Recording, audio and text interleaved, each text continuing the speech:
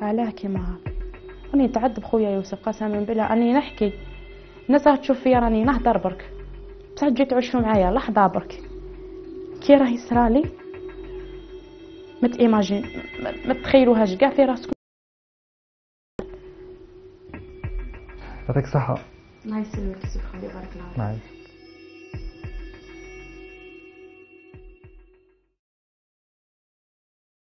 أستاذة غادة.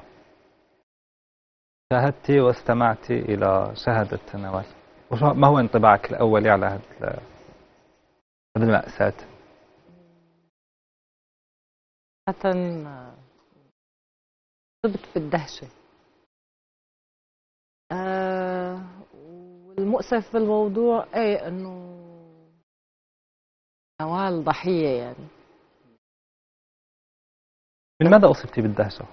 صبت من الدهشة من من سرد الحكاية من التفاصيل آه كل الموضوع. هو للأمانة يعني ما شاهدته وشاهده المشاهدون الآن هو جزء صغير من ما حصلنا عليه من الفيديوهات لنوال ومما روته لنا. نوال هنالك الكثير من الأمور التي تحفظنا عن ذكرها. لاعتبارات متعلقة بعائلة نوال ولاعتبارات أخرى متعلقة بالحفاظ على هويتها وعدم ذكر أسماء بعض المتورطين في هذه آه، القضية أستاذة غادة أنت قلت لي أثناء آه، قبل يعني في الجزء الأول من الحصة قلت لي أنه أغلب هذه الأمور هي طاقة سلبية يعني نعم. في رأيك يعني كيف تقنعين نوال بشكل آه، مباشر أنه ما تقوله من الأمور التغيرات الجسمية التي تحصل عليها تمزق جسمها وعملية القيء هذه اللي شفناها. أعتذر من المشاهدين على كلمة القيء. حاشاكم وحاشا حاشاك أستاذة غادة. كيفاش تقنعيها أنه هذا الأمر غير غير حقيقي؟ آه، طبعا هناك تقنيات تقنيات في البرمجة لخلخلة آه، هذه المعتقدات. آه، دعنا نتفق بداية بالنسبة لي جزء لا يستهان به مما ذكرت. هي عبارة عن أوهام عقلية. آه، أنا أتكلم من وجهة نظر علمية. آه، لذلك أقول ذلك. آه، وربما الكثيرين لا ي- لن يوافقونني لكنني مصرة على ذلك. كيف أوهام عقلية يعني؟ أوهام عقلية. آه، لعبة العقل أو دعني أقول لك العقل آه، عبارة عن جهاز ضخم جدا جدا جدا ودرجة الاستيعاب فيه تفوق الحواسيب. لكننا لا نوظفه إلا للأشياء آه، لأشياء بسيطة جدا. والغالبية العظمى لا يستخدمونه.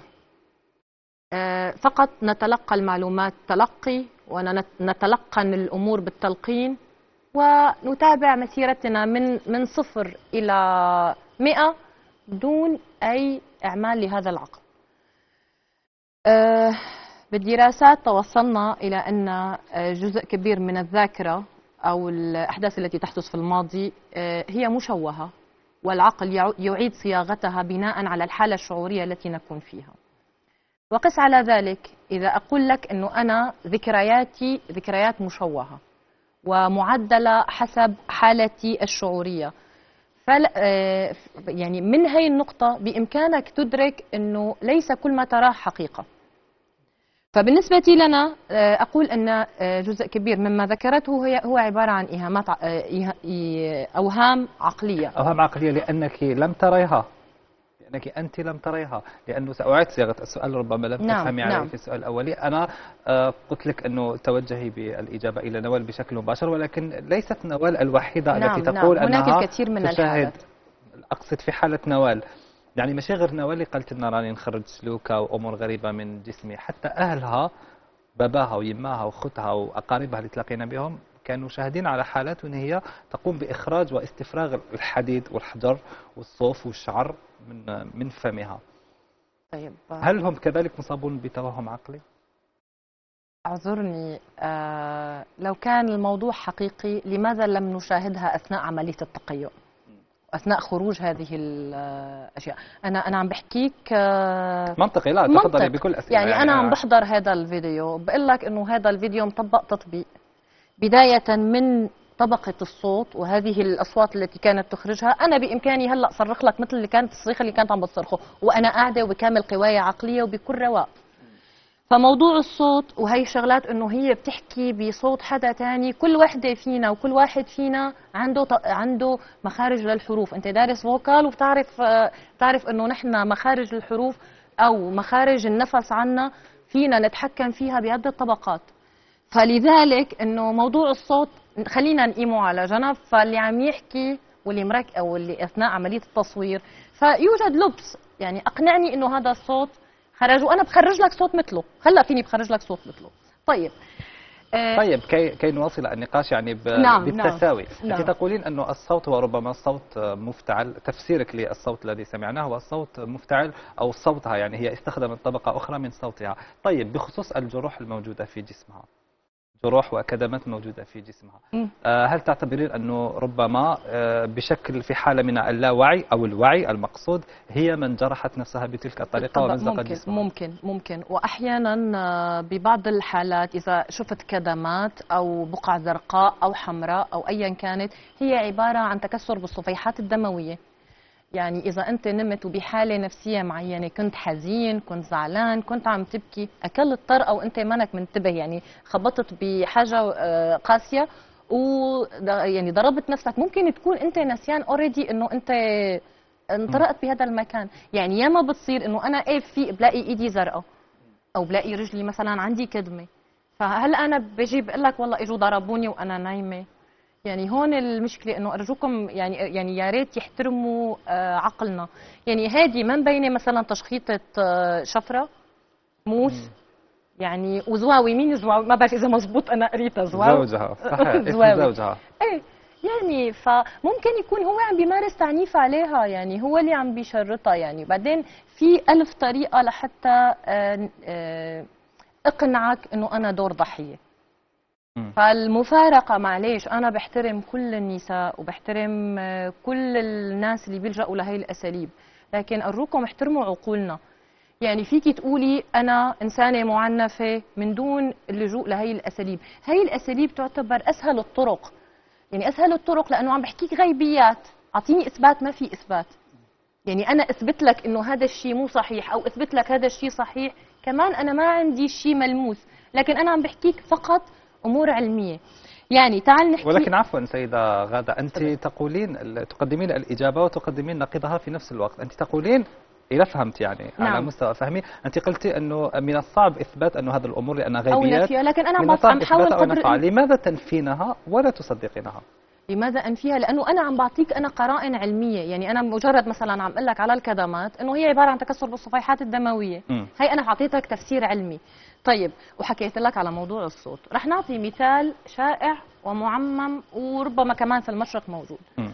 موضوع المرأة التي آه، اللي بتكون حامل بصبي وبتأجهض شو بيقولوا عنها؟ تابعة. عليها التابعة. طيب نحن إذا بدنا نفسرها علميا فعليا نحن عنا آه، بالصبغيات إكس وواي يعني في الأثن- آه، أثناء عملية التلقيح. إذا كانت الذ- النطفة مذكرة فبينتج عنا نحن مع البويضة ال- المخلوق آه، ذكر. والعكس بالعكس إذا كانت النطفة مؤنثة.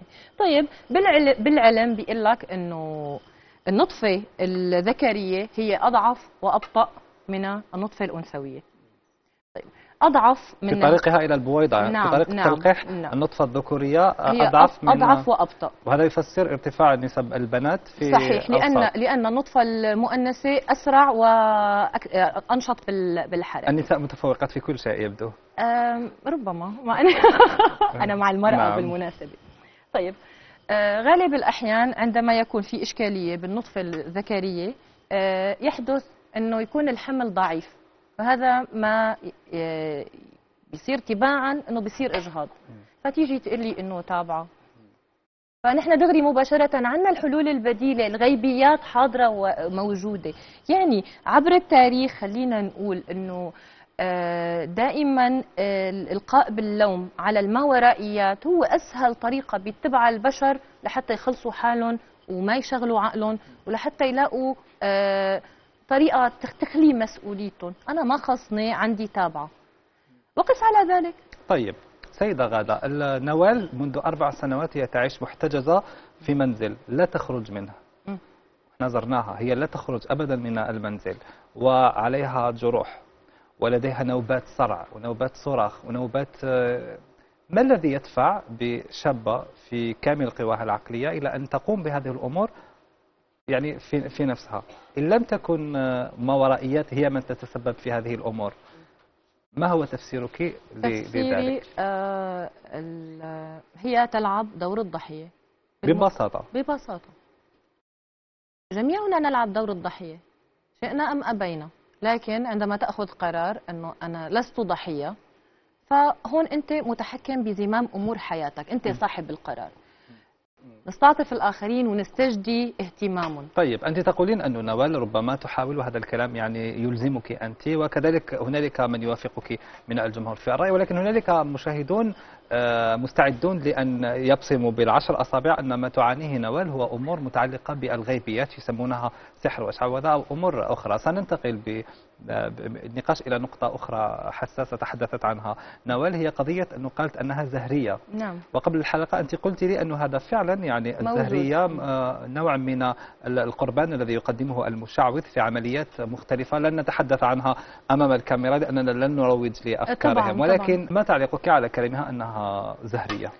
آه، حقيقة يوجد هناك أشخاص أصحاب طاقة عالية. طاقة إيجابية عالية أو هم من سلالة دم صافية إن قلنا إن صح التعبير آه، هم هم المستهدفين من أصحاب النفوس الدنيئة الذين يرغبون بتسهيل أعمالهم كيف يفعلون ذلك؟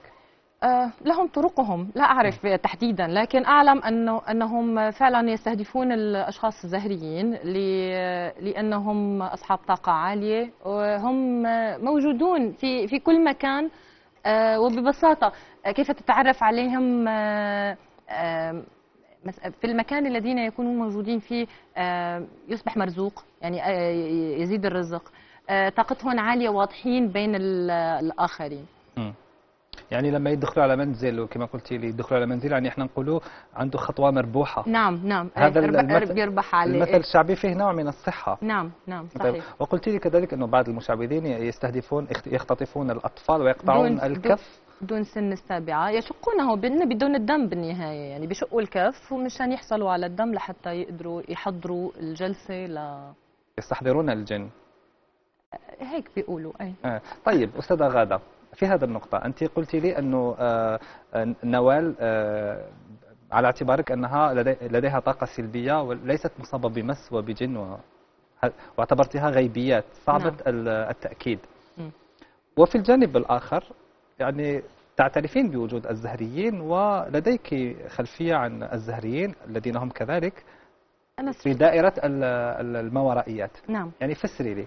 رح أفسر لك. ما يتعلق بالجن لأنه هذا الخطاب المزدوج نجده كثيرا عند تماماً. ال- المتعلمين. عندما يتعلق الأمر بالسحر والجن والشعوذة يقول لك غير موجود ولكن لما تتعلق أمور أخرى متعلقة بالفضاء أو الكنوز أو ال- أو الزهرية يعترفون بهذه الأمور. أه لا أنا سميت لك إياها من البداية طاقة سلبية وطاقة إيجابية وحتى لما قلت لك زهريين قلت لك هن أصحاب الطاقة العالية الإيجابية. مم. ذلك بس فقط لا غير. ونحن بنسمي إن كان جن أو كان آه، سميه ما شئت هي هي الكائنات اللي نحن اللي أنا ما شفتها. آه، بسميها طاقة سلبية فقط. طيب ال- ال- المفروض ال- العلم أشكال العلم في تطور مستمر. ولم يعد هنالك حديث عن آه، آه، علم يجب آه، مجسد. وعلم غير مجسد. هنالك بعض العلماء الذين يرجحون بشكل كبير فرضية آه، آه، الشعوذة والجن. يعني أحيانا بعض المواطنين البسطاء يلجؤون إلى أطباء يعجزون عن علاجهم ويقولون لهم توجهوا إلى راقي يرقيكم ربما لديكم آه، أمر خارج عن نطاق العلم. ما رأيك في هذه الشريحة من المتعلمين؟ المتعلمين؟ ببساطة هن عم يلجأوا لشيء اسمه العلاج بالإيحاء. العلاج بالإيحاء هو تماما مثل ما أنت تروح عند الراقي ويرقي لك يقرأ لك قرآن. آه، خلينا نقول إنه طاقة القرآن هي طاقة طاقة شفائية عالية جدا هي أعلى طاقة فعليا يعني. فمجرد إنه أنت تقرأ على الماء أو يقرأ على جسد المريض فهو بيفترض هو عم بيوجه له طاقة. هو عم بيوجه له طاقة بالكلمات القرآنية. آه، طبعا الموضوع ليس بهذه البساطة. يعني هو الراقي أو خلينا نقول كل من يمتهن هذه الأمور يعمل على تهيئة المريض نفسيا. يعني أنا أنت لما بتيجي لعندي بدي أعمل لك جلسة علاج فأنا بدي هيئك نفسيا وبقول لك إنه أنت طبعا أنا واثقة إنه أنت بس تخرج من هذا المكان رح تكون بحال أفضل ورح تكون تشعر بالارتياح. فعليا أنا عم بعطيك المسجز عم وز- عم موصل المسجز للعقل الباطن. مم. فأنا أعطيتك الإيحاء اللي أنت مجرد تخرج من عندي رح تطبقه. آه إيه والله حسيت حالي ارتحت. في ناس بتصير فيهم يعني بتروح عند طبيب طبيب طبيب يعني إنه فعليا آه بتروح في أطباء معينين فعلا بتكون آه طاقتهم إيجابية. مجرد إنك تروح لعنده آه يفحصك وكذا. وأنت طالع بتقول يا الله حسيت حالي ارتحت. بلشت إشفى يعني. طبعا إلا بالحالات ال- المستعصية. المستعصية. لكن فهون هو شو عمل؟ هو ريحك نفسيا. نحن ما يسمى بالهيبنوز يعني التنويم هيبنوسز؟ لا الهيبنوسز مجال ثاني هلا قد في منهم لا أعرف إن كانوا فعلا يعلمون التنويم الإيحائي. التنويم الإيحائي وليس المغناطيسي يعني التنويم الإيحائي آه، هو عبارة عن جمل تلقينية جمل فضفاضة آه، تلقى على مسمع المستفيد آه، نحدث فيها خلخلة في التركيز الوعي. من أجل إيصال رسائل مباشرة إلى العقل الباطن. هنالك نقطة أريد أن أن تتوضح الرأي العام بخصوص آه، كلامك أستاذة غادة. آه، هنالك ربما مشاهدون سوف يحتارون إن كنت يعني تؤمنين وتعترفين بالرقية بشكل عام أم تؤمنين بها في استخدامات معينة؟ آه، العلاج بالقرآن وأنت تستخدمين قلت لي العلاج بالقرآن. نعم أنا بستخدمه لإلي لبناتي الذين لا يعرفون القراءة. أول آية نزلت ما هي؟ اقرأ. اقرأ يعني يفترض أضعف الإيمان أنه كلياتنا قادرين نمسك كتاب الله ونقرأه. فببساطة يعني مين هذا الشخص يلي أنا بدي روح لعنده وخليه يلمس جسدي أو يقرأ لي على ماء؟ طب ما أنا بعرف أقرأ. أي سورة بالقرآن أي آية بالقرآن هي على حسب النية اللي أنت بتطلقها قبل ما أنت تقرأها بتأدي الوظيفة. يعني أنا بدي أقرأ الفاتحة على نية الشفاء فستعطي مفعول. ولما بقرأ ياسين على نية الشفاء رح تعطي مفعول. لأنه نيتي أنا أنه أنا أتشافى بهي الآية القرآنية. فلذلك يعني أرجوكم كفى يعني كل واحد قادر أنه يعني كل واحد غير أمي. معلش امسك أنت كتاب الله وأقرأ على نفسك. فشو في داعي إنه آه، يضلوا يبتزوكم ماليا ويسحبوا منكم بطريقة بطريقة كارثية؟ أنا بعرف في ناس عم بتبيع بتبيع ذهبها وعم عم يعني تخسر أموال طائلة مقابل إنه تروح عند الراقي لحتى يطلع الجان منه. أه ما بعرف إذا لازم أحكي لك آه، حادثة صارت معي. لا فعلا تفضلي. آه، في إحدى الجلسات جلسات الأصدقاء اللي فيها معالجين. جمعوني مع شيخ. راقي يعني. راقي. بالبداية آه، طبعا هو جاي لحتى أنا أقرأ له أعمل له تحليل لشخصيته. آه، بعدين آه، أنا بصراحة ما قرأته. لماذا؟ لا أعرف. ما ارتحت له. فأنا ما قرأت ما عملت له قراءة. فيقول لي احكي لي. فقلت له أنا ما عندي شيء أحكي. يعني هذا أول شخص أنا بمتنع امتناع كامل إني أنا أعمل له قراءة. أنا أنا معروفة يعني إنه أي حدا بتكون ماشي ماشي بالطريق إنه أعمل لي يعني أحيانا ما بيكون عندي وقت فإنه بعطيهم قراءة سريعة. لكن هذا الشخص بالتحديد ما قريت له. رحت القصة اجتمعنا مرة ثانية ومرة ثالثة بالمرة الرابعة فبيقول لي يبدو إنه عندك آه، جن عاشق.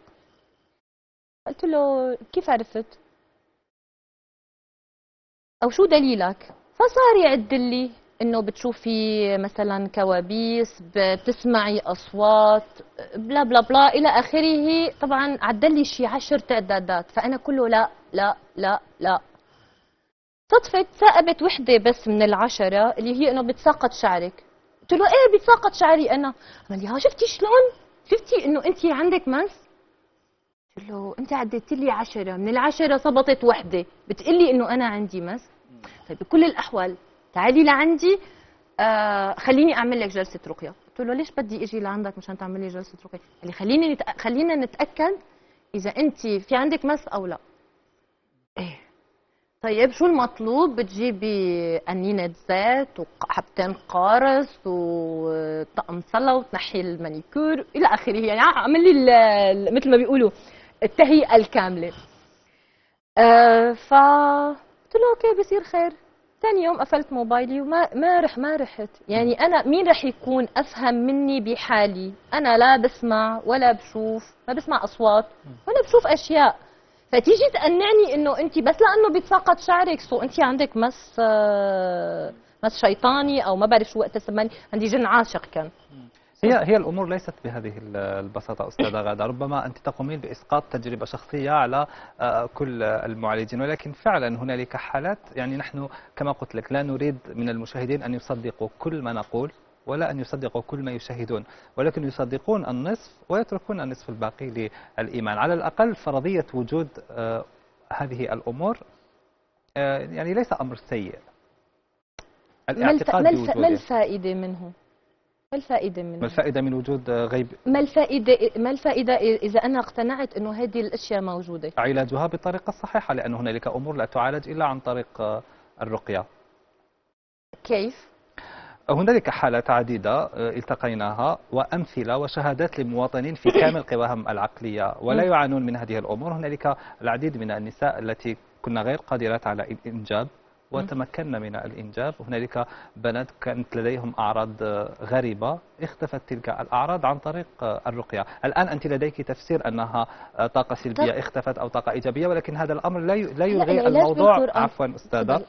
هذا الأمر لا يلغي الموضوع. يعني نحن لا نريد أن نعيب على جميع الرقاة آه، هذا العمل الذي يقومون فيه لأن الرقية موجودة في موجودة في الدين الإسلامي والسحر والشعوذة من الأمور المذكورة في القرآن. إذا ذكر السحر والشعوذة في القرآن وقالت الآية يعلمان الناس السحر أكيد أن هنالك علاج والعلاج كيف يكون؟ عن طريق الرقية. هذا الأمر المنطقي. نعم. ففرضية إلغاء كل هذا الأمر يعني صعبة التقبل. هل هناك ضمان؟ هل هناك ضمان أن هذا الراقي اللي رح تروح لعنده أنه هو فعلا يشخص لك الحالة صحيحة؟ هل يوجد منهجية بالأساس؟ تقلي هلا أنا بتيجي لعندي بشخص لك مثلا الحالة المرضية بقول لك عندك واحد اثنين ثلاثة أربعة. م. بالمنطق وبعطيك أنا بعطيك إياها بالطاقة. من دون أي فحص سريري ومن دون ما مسك ومن دون ما أعمل م. أي شيء. طيب بس أنا عندي منهجية بمشي عليها. يعني أنا غالبية الحالات اللي بتمشي مثلا إنه كذا كذا كذا كذا في علاج. طيب أعطيني أعراض المس أعطيني أعراض إنه شو الأعراض؟ هون الفكرة. طب وأنا كيف بيضمني إنه هذا الراقي ما بده يستغلني ماليا؟ وكيف بده شو اللي بده يضمني إنه أنا إذا رحت لعنده ما أتعرض لإستغلالات أخرى؟ ومو جلسة كمان في عندها تبعات. يعني بتكون أنت هلأ اليوم وممكن بعد اللي يرجع الأسبوع اللي بعده وتروح القصة سنين. طب طيب ليس هنالك أنت تقولين أنه ما هي الضمانات التي آه، تدل على أنه سوف يقوم بعلاجي نعم. كذلك ليست هنالك يعني أمور وضمانات بأنه لن يقوم بعلاجك. يعني لماذا تحكمين وتلغين؟ آه، أنا أنا ببساطة أنا على مبدأ ما زال أنت قادر تقرأ. يا عمي آه، عالج نفسك بنفسك. وحتى أنا لا يجوا لعندي ما بدي. يعني أنا بإمكاني مثلا استغل هذا الموضوع أقول لك لا والله تعالوا عند اللي بيعالجوا بالطاقة. لا لا لا عالج نفسك بنفسك. أنا عم بعطيك مفاتيح. يعني إذا مشيت عليها واحد اثنين ثلاثة أربعة وشغلت عقلك وأعطيتك أنا مثلا إنه إيه بلش مثلا إنه يا عمي خلخل المعتقدات القديمة. ليش نحن مصرين إنه لا غيري العلاج عند غيري؟ وفي أنفسهم أفلا يبصرون؟ يعني بلش من نفسك أنت. خل أنت عندك ال... يعني رب العالمين وهبنا هذا الكتاب. استثمره إلك. ليش؟ لحتى أنا ألجأ للآخرين. سوري منك هذا الشخص. شو آه شو شو العمق اللي عنده أول شيء شو المنهجية اللي بيتبعها؟ يعني أنا قارئة على مدى مدى سنين عمري.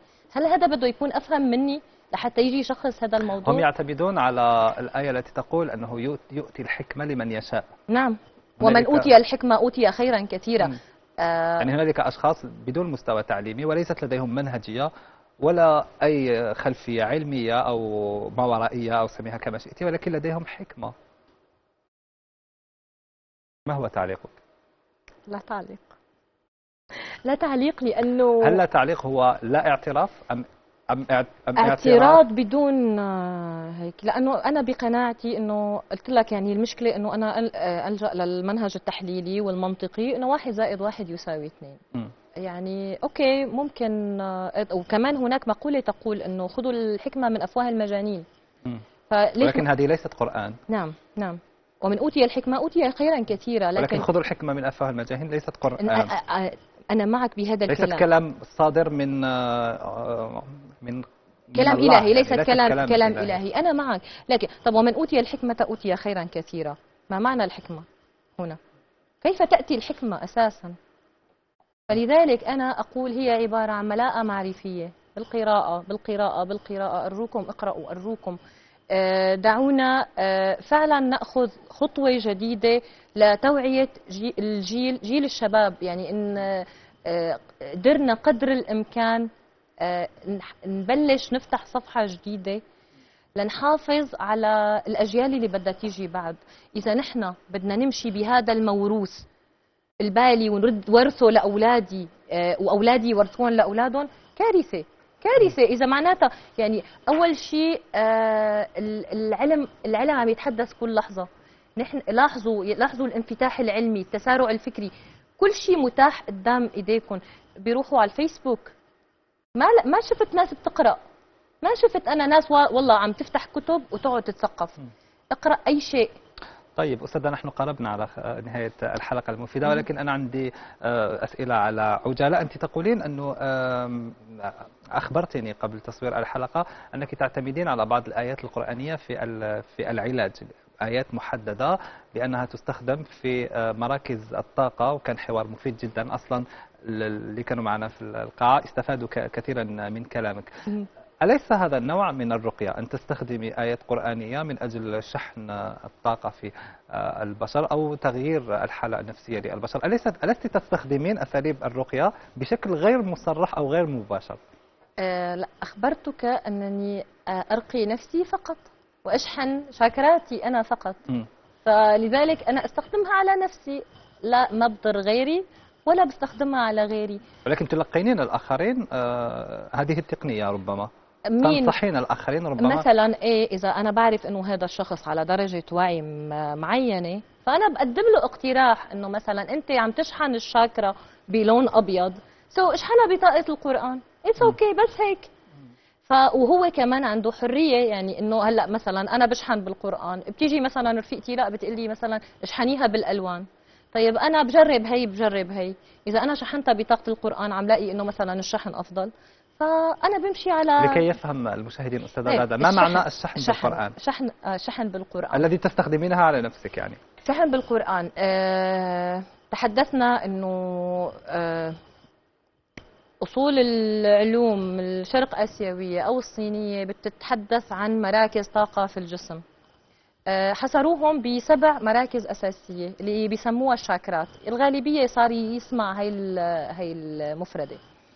آه، كل شاكرا هي مسؤولة عن أعضاء بالجسم. يعني مركز تجمع لطاقة ال- ال- الطاقة بهذا المكان. طبعا بالنسبة لل... كيف تعرفين أن هذا الآية من القرآن بشكل خاص تؤثر على يعني مركز الطاقة آه، هذه من؟ تجربتي الشخصية. أنا يعني, يعني أثناء. أثناء عملية أثناء قراءة القرآن ب- بشوف مثلا إنه هاي الآية بتناسب هذا المكان هاي الآية بتناسب.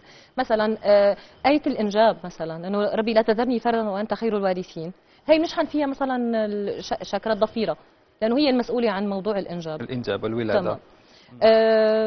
وقس على ذلك يعني فكل كل آية مخصصة. أنا بقناعتي هذا طبعا يعني آه، منهجيتي أنا ولا ألزم أحد فيها ولا يعني آه، في ناس ممكن تلاقي آية مناسبة أكثر في ناس مثلا ممكن آه، تعزية على شيء ثاني لكن أنا بشوفها بهذه الطريقة. يعني أنا ال- الدواء من جنس الداء. بس أنه فقط لا غير. ولكن يعني الكلام مفيد جدا لأنه فعلا كلام الله فيها الكثير من الأسرار التي تحتاج إلى أبحاث متواصلة طبعاً. واكتشافات لن تتوقف على الأقل في هذا آه، الزمن يعني نفهم من خلال هذا الكلام أنك ضد يعني أنت تعترضين على الطرق التي يستخدمها آه، الرقاة في في الرقيات الجماعية والرقيات بالميكروفون وبالهاتف وبسكايب وأشكال مختلفة من الرقية الغريبة وأنت ترجحين أن يقوم الشخص برقية نفسه نعم. بنفسه عن طريق قراءة القرآن بمجهود جسمي خاص نعم. بتدب اي طبعا أنا أنا مع إنه بداية أول شيء كل شخص بيشعر نفسه إنه هو آه، مصاب أو آه، عنده أي عارض آه، ياخذ قرار إنه هو بده يتخلص من هذا الشيء وإنه هذا الشيء سهل للعلاج. يعني إنه لما أنا باخذ قرار إنه أنا بدي أتشافى منه فعلا رح رح أتشافى من هذا الشيء. قراءة القرآن أرجوكم بتدبر وبتمعن. وبهدوء وكلياتنا قادرين وأي نية بتطلقها أساس كل عمل إنما الأعمال بالنيات. فلذلك إنه أطلق النية على نية الاستشفاء. فما رح ما رح تلاقي أفضل من نفسك لحتى تعالج حالك. على كل أنا أشكرك جدا أستاذة غادة على حضورك معنا. الحوار معك فعلا مفيد جدا لأنك تتحدثين عن أمور يعني مجهولة على الأقل مجهولة لي استفدت منها. تسلم يا ب- بلقائي معك ونتوجه بشكر مرة أخرى لنوال لأنها وافقت على المرور في البرنامج وسرد هذه التجربة التي تحمل آه، جوانب آه، قد يجهلها البعض وقد ينفيها البعض الآخر وقد يعترف بها الكثيرون ولكن على كل حال نحن نتمنى من نوال أن أن تبذل مجهود مجهود أكثر على أمل أن تشفى من الأوضاع التي تعاني منها. سوف يكون لنا لقاءات خلال الموسم أخرى مع نوال. سنحاول أن نجمعها مع المعالجة عفوا المدربة في والمختصة في التنمية البشرية الأستاذة غادة عرب. ونفتح كذلك المجال للبرنامج من أجل تلقي وتصوير كل الحالات التي تعيش تجربة نوال أو تعيش تجربة أخرى ربما لا تفهمها. سوف نساعدكم في فهمها وفي الأخير. تقبلوا تحياتي مشاهدينا الكرام ونلتقي بحول الله الثلاثاء المقبل.